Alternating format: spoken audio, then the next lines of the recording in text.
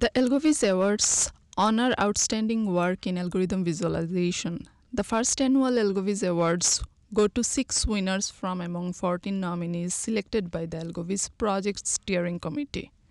The final winners were determined by the votes of AV users and developers, who rated the selected AVs on a scale of 1 to 5.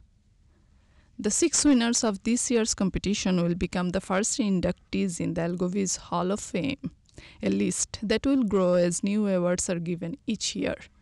Two winners were selected from each of three broad categories standalone AVs on the lower division topics, standalone AVs on the advanced topics, and online tutorials or hypertext books. Our first winner in the category of standalone AVs for lower division topics comes from Virginia Tech. It demonstrates the radix sort. Users may begin by selecting the number of digits in the key values and the number of values to sort. A random set of keys is then generated. This AV allows the user to control the pace of the presentation, which shows each phase of the radix sort process, from generating counts for each digit value to moving keys to the output array. Each presentation step synchronizes a message on the left with action on the right.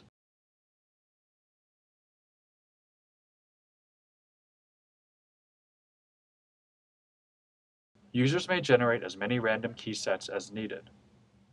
This visualization provides a good demonstration of the algorithm that is easy to follow, but it doesn't permit much user interaction. It could be used as part of a lecture on radix sort or as a supplemental study aid. One key feature of this AV is that it is a Java applet embedded on a web page. Many users are resistant to downloading and installing software, so AVs distributed as applets tend to gain more acceptance. Our second place winner in the lower division category also demonstrates a sorting algorithm, the quicksort. This visualization is part of the Algorithms in Action project from the University of Melbourne. Algorithms in Action visualizations are delivered as Java applets on the AIA website.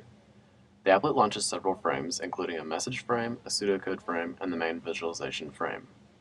The pseudocode display for AIA is more sophisticated than for many other systems in that the code can be expanded to show more detail, from a high-level description down to the actual program code. This in turn will affect the level of detail shown in the visualization frame. Notice that when the partition step is expanded, the details of partitioning are shown in the visualization frame.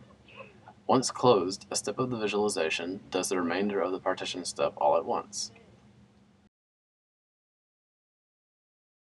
Users may choose to turn on a quiz to test their knowledge, thus providing for more interaction with the presentation.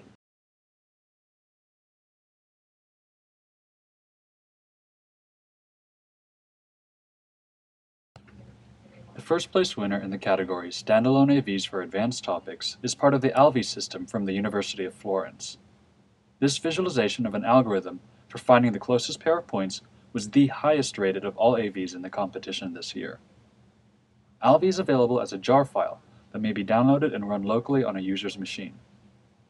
Once the closest pair's presentation is selected, we see the left section depicts the points in this example. We see the right section shows pseudocode and we see a message pane at the bottom that gives step-by-step -step descriptions of the action. The user may step forward and back through the presentation. She may also at any time reset the presentation or skip to the end. This AV makes great use of color and other visuals to indicate what is happening in a complex algorithm, such as highlighting specific lines in the pseudocode or emphasizing certain points or regions in the plane.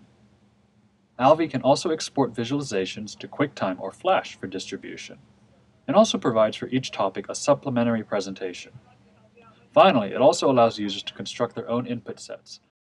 The second place winner in the Advanced Topics category is an AVL tree visualization, part of the TRAKLA system from the Helsinki University of Technology. TRAKLA is widely used in computer science classes in Finland, and this AV shows why it is popular. This visualization, like several others, shows pseudocode for the data structure as well as graphical action. This pseudocode, as well as the message pane at the top, may be hidden as desired. Perhaps the most significant aspect of the checklist system is that it affords a great deal of user interaction. Users must drive the action forward by dragging elements into the tree and rotating branches as needed. These mechanics are simple enough to help with understanding without becoming too repetitive. Users may check their progress at any time during the exercise by pressing the grade button. They may also see the correct series of steps by pressing the model answer button. Users have the option to see a canned presentation if they wish, like with many other AVs, but they also have the opportunity to test their proficiency with the topic. Our two winners in the category of online tutorials and hypertext books both provide more sophisticated pedagogical support than many of the standalone AVs that we have seen so far. Both have been classroom tested.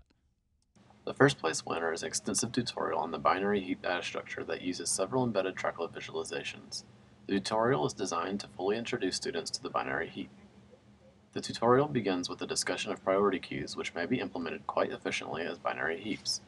It explains how heaps may themselves be implemented as arrays, giving both textual and graphical representations of the data structure. It also briefly describes the differences between min heaps and max heaps.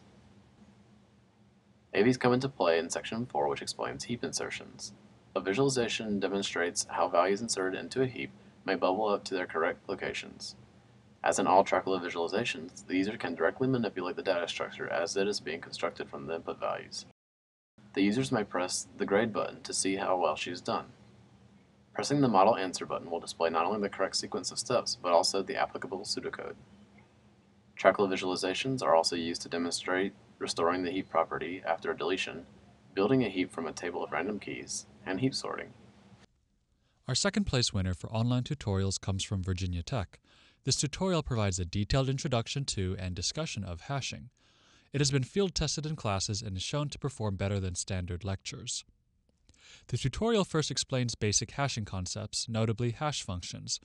It then proceeds to explain several common hash functions and provides demonstration visualizations for each function.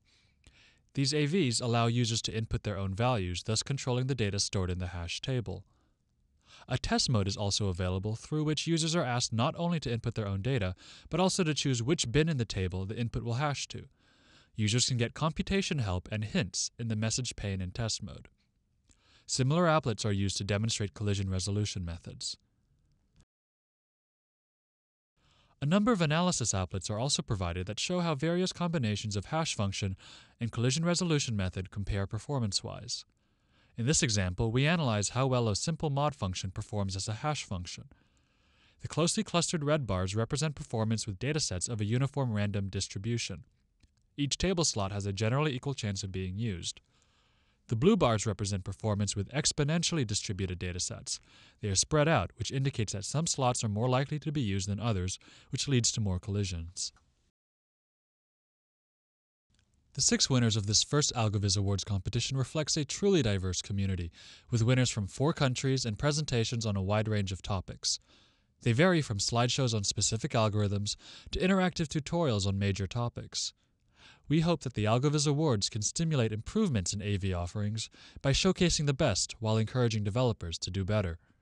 You can check out the winners yourself or view our catalog of over 500 algorithm visualizations at the AlgoViz portal at algoviz.org.